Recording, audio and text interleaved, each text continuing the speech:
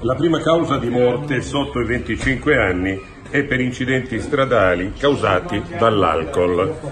Proprio per questo motivo io sono diventato una testa di alcol. Non è una parolaccia.